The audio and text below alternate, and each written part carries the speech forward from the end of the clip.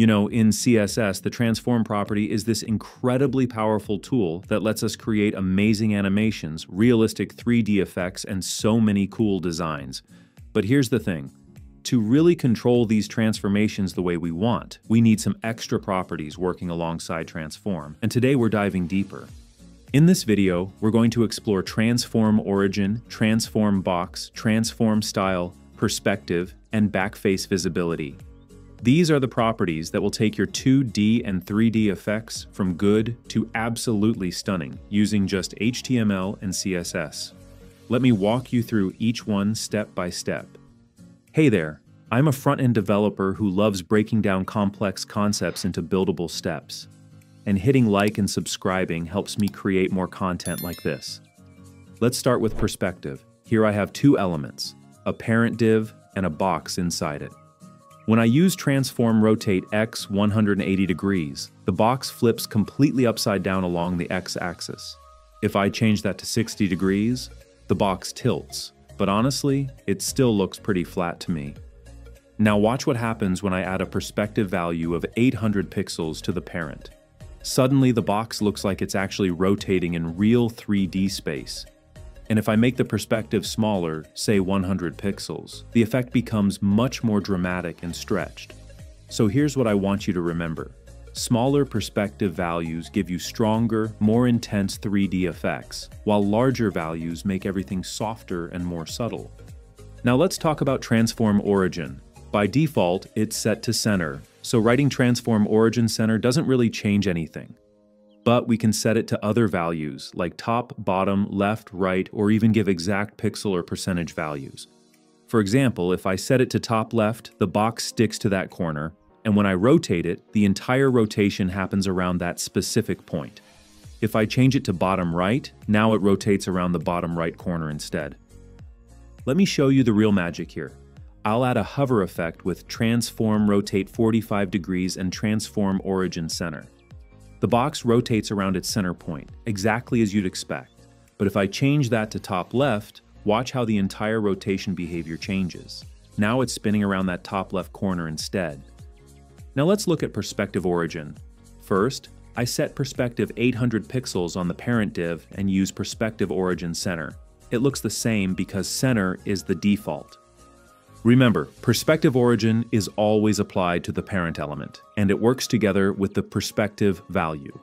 Even if I remove the transform from the box, the effect still works because the parent has perspective set.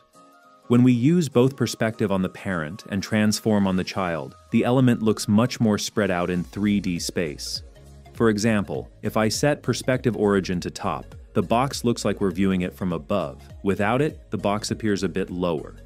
If I set it to bottom right, the entire viewpoint changes again, and when I rotate the box, you can really see the difference it makes. Let's talk about transform style now. This property is applied to the parent element, and by default, its value is flat, meaning no 3D effect is visible.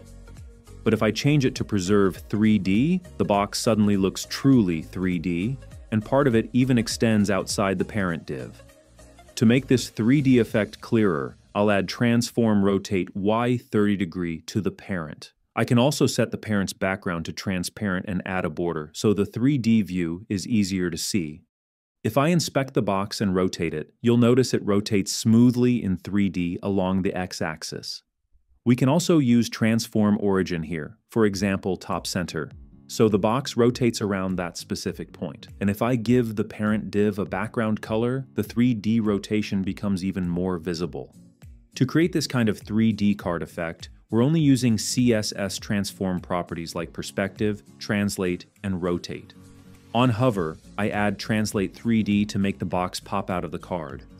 In translate 3D, I set the values like this, x 0%, y minus 30%, z minus 100 pixels. This gives the card that smooth, realistic 3D hover effect that feels so satisfying.